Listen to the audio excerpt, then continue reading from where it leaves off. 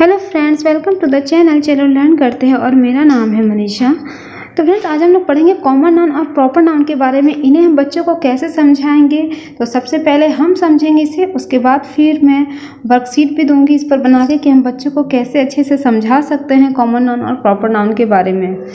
इस पर बहुत कन्फ्यूज़ हो जाते हैं बच्चे कि कॉमन नाउन किसे कहते हैं प्रॉपर नाउन किसे कहते हैं, कहाँ टिक लगाए कॉमन नाउन कहाँ टिक लगाए प्रॉपर नाउन तो इस पर मैं वर्कशीट भी बना के दिखाऊँगी। तो सबसे पहले प्रॉपर नाउन यानी जिसे हिंदी में व्यक्तिवाचक संख्या कहते हैं, इसमें स्पेशल नेम होता है। जब स्पेशल नेम इंडिकेट किया जाता है स्पेसिफिक नेम विशेष, जैसे मुंबई, ठीक है? सिटी का नाम है क्या? मुंबई। तो मुंबई हो गया प्रॉपर नाउन टाइटैनिक टाइटैनिक है शिप का नाम। तो ये हो गया प्रॉपर नाउन रमेश, ये हो गया नाम। ये किसी लड़के का नाम हो गया। तो अगर हम सिटी बोलें तो सिटी कॉमन नाउन में आ जाता है, जबकि मुंबई प्रॉपर नाउन शिप बोले तो शिप भी कॉमन नाउन में आता है, जबकि टाइटेनिक प्रॉपर नाउन में। बॉय भी कॉमन नाउन में आएगा, जबकि रमेश प्रॉपर नाउन में। अब है कॉमन नाउन जिसे कहते हैं हिंदी में जातिवाचक संख्या तो ये जिससे जाति या वर्ग का बोध होता है जनरल ठीक है? जैसे इसमें मैंने पहले ही बताया आपको बॉय हो गया कॉमन नाउन में, क्योंकि इससे जाति या वर्ग का बोध हो रहा है। पूरे बॉय की जाति, लड़कों की जाति, उसी तरह बुक बुक भी हो गया जनरल में आ गया सिटी सिटी भी इसी तरह से आ गया कॉमन नाउन में, यानी जनरल वर्ग बता रहा है इसीलिए।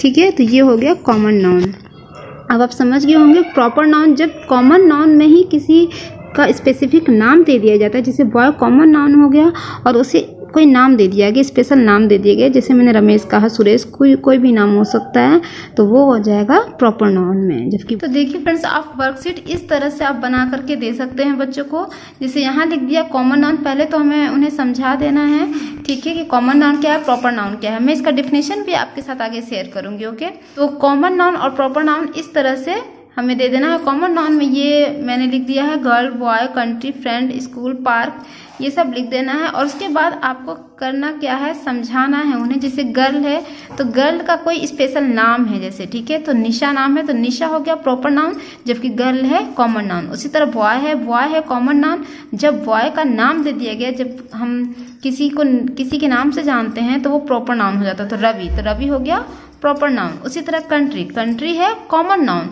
जबकि जब हम कंट्री का नाम दे दिए, जैसे इंडिया अमेरिका रूस तो इस तरह से वो इंडिया अमेरिका रूस जो है वो प्रॉपर नाउन में आ गया.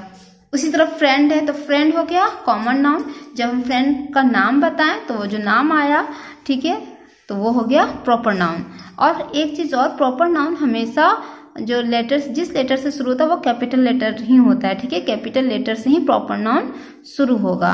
उसी तरह स्कूल है तो स्कूल का नाम प्रॉपर नाउन में पार्क है। कोई पार्क का विशेष नाम है तो वो भी प्रॉपर नाउन में आ जाएगा, जबकि पार्क कॉमन नाउन में आएगा। उसी तरह सिस्टर है, ब्रदर है, सिटी है, सिटी जैसे पटना, रांची, हैदराबाद, कोई भी सिटी है तो वो हो जाएगा प्रॉपर नाउन और सिस्टर का भी अगर हम नाम लिख दिए तो वो हो गया प्रॉपर नाउन तो इस तरह से हम बच्चों को समझाएँगे। कॉमन नाउन इस तरह से लिख के दे दिया जाएगा और फिर उसका जब नाम इंडिकेट करके बताएँगे कि ये प्रॉपर नाउन में आ जाएगा। ठीक है? इस तरह से ही बच्चे समझ पाएँगे अच्छे से। जब वो अच्छे से कैच कर ले, ठीक है क्लियर हो जाए, उसके बाद आप और भी वर्कशीट दे सकते हैं। मैं अभी आपको पहले डिफिनेशन बता दे रही हूँ, उसके बाद आगे की वर्कशीट और भी शेयर करूँगी।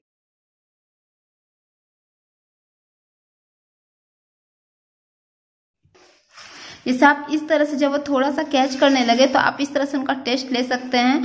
आइडेंटिफाई द नाउन ठीक है? इस तरह से आप दे दें name proper noun common noun दोनों मिला करके दे दीजिए। फिर यहाँ लिख दीजिए प्रॉपर कॉमन ठीक है? अब बच्चे को क्या करना है? इसमें से ढूंढना है कौन सा प्रॉपर होगा, कौन सा कॉमन होगा। तो जैसे हमें बच्चों को बताना है, सूरज है, ये नाम है, किसी बॉय का नाम है तो सूरज किसमें? प्रॉपर नाउन में आ जाएगा। फ्रेंड फ्रेंड यानी पूरे फ्रेंड ये जनरल वर्ग में आ जाएगा, ठीक है? तो ये हो जाएगा कॉमन में, अमेरिका नाम है कंट्री का कंट्री नहीं कंट्री तो कॉमन में आ जाएगा, लेकिन अमेरिका कंट्री का नाम है तो प्रॉपर उस तरह रजनी किसी लड़की का नाम है तो proper tree common balloon common Red Fort Red Fort एक ही है तो प्रॉपर इस तरह से आपको बच्चों को देना है ऐसे क्वेश्चंस बना करके। फिर और आप आगे इस तरह से कर सकते हैं। सर्कल द प्रॉपर नाउन इस पे बच्चों को क्या करना है? सर्कल करना है प्रॉपर नाउन में। प्रॉपर नाउन क्या है? तो उसे सर्कल करना है। जैसे मिसेस कमला तो ये नाम है तो इसको सर्कल कर सकते हैं। ठीक है टाउन टाउन में तो टाउन का तो कोई विशेष नाम तो है नहीं। तो टाउन कॉमन नाउन में आएगा। ये सर्कल नहीं होगा। पटना पटना नाम है शहर का तो ये सर्कल हो जाएगा। चेयर चेयर भी कॉमन नाउन है। ये नहीं होगा प्रॉपर नाउन में। पार्क भी कॉमन नाउन है। जब पार्क का विशेष नाम हो तो वो प्रॉपर नाउन में आ जाता है। लेकिन ये पार्क है तो कॉमन नाउन में ही रहेगा। आप चाहे तो इस तरह से भी समझा सकते हैं बच्चों को प्रॉपर नाउन इस तरह से जैसे मैंने आपको शुरू में बताया, ठीक है, वो आप इस तरह से कॉपी में लिख करके भी समझा सकते हैं। ये देखिए, इस तरह से आप लिख करके भी समझा सकते हो। उसके बाद फिर आप वर्कशीट दे सकते हैं इस तरह से। फिर आप ये काम और भी कर सकते हो, जैसे कि सेंटेंस दे दिया और उसमें लिख सकते हैं कि कौन सा कॉमन नाउन है, कौन सा प्रॉपर नाउन है सी या पी से इंडिकेट करें। एग्ज़ाम्पल के तौर पर, जैसे आप इस तरह से सेंटेंस लिख करके दे सकते हैं, Rani is a good girl ठीक है? अब रानी है नाम है तो ये क्या हो जाएगा? प्रॉपर नाउन तो बच्चे यहाँ लिखेंगे पी गर्ल है कॉमन नाउन तो यहाँ लिखेंगे सी चाहे तो आप उन्हें पूरा लिखने के लिए दे कॉमन नाउन प्रॉपर नाउन इस तरह से अलग अलग भी लिख के, लिखने के लिए दे सकते हैं। जैसे वो अलग करेंगे, रानी लिखेंगे यहाँ पर, और फिर इसके बाद लिखेंगे प्रॉपर नाउन फिर इसका गर्ल लिखेंगे, फिर लिखेंगे कॉमन नाउन और चाहे तो आप इस तरह से भी कर, करने के लिए दे सकते हैं।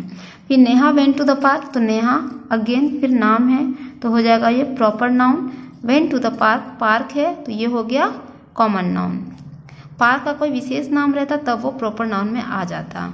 We go to school daily ठीक है? तो यहाँ स्कूल हो गया तो स्कूल क्या हो गया? कॉमन नाउन क्योंकि स्कूल का नाम नहीं दिया गया है, इसलिए हो जाएगा कॉमन नाउन तो आप इस तरह से बच्चों को सिंपल सिंपल सेंटेंस दीजिए, जिससे वो अच्छे से समझ पाए कि कौन सा प्रॉपर नाउन है, कौन सा प्रॉपर नाउन है और कौन सा कॉमन नाउन है। इससे बच्चों को समझने में काफ़ी हेल्प होगा ठीक है? तो आप इस तरह से बच्चों को वर्कशीट तैयार करके दीजिए और उनका टेस्ट लीजिए। वो कितना समझे उन्हें अच्छे से पहले समझाएँ उसके बाद फिर आप उन्हें वर्कशीट बना करके दें। ठीक है इस तरह से बच्चों का कॉन्सेप्ट एकदम क्लियर होगा कॉमन नाउन और प्रॉपर नाउन के बारे में। आप चाहे तो इस तरह से भी दे सकते हैं जैसे आ, कोई नाम लिख दिया आपने ठीक है? पर्सन प्लेस एनिमल्स थिंग्स ये मैंने एक वीडियो डाला हुआ था नाउन के लिए, ठीक है नेमिंग वर्ड्स नाउन तो उसको भी आप चेक कर सकते हैं, नहीं तो मैं लिंक डाल दूँगी उसका, आप देख लीजिएगा। जैसे ये देखिए, मैंने जैसे बॉक्स बना दिया बॉक्स में कुछ वर्ड्स लिख दिए हैं, ठीक है नाउन से रिलेटेड अब उसमें क्या करना है, आपको इस तरह से बना देना है बॉक्सेस इसमें पर्सन प्लेस एनिमल थिंग इसमें बच्चे लिखेंगे कौन से, कौन सा जो वर्ड है वो पर्सन में आया, कौन सा प्लेस में आया, कौन सा एनिमल कौन सा थिंग इस तरह से बच्चों का क्लियर होगा नाउन भी और वो समझ सकेंगे प्रॉपर नाउन कॉमन नाउन के बारे में भी।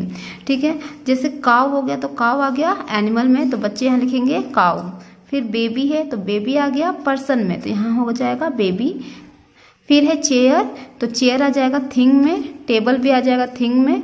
पेन भी आ जाएगा थिंग में, मिस्टर राम है तो वो पर्सन में आ जाएगा, स्कूल है जो वो प्लेस में आ जाएगा। तो इस तरह से बच्चों को आप अच्छे से नाउन समझा सकते हैं इस तरह से दे करके, ठीक है?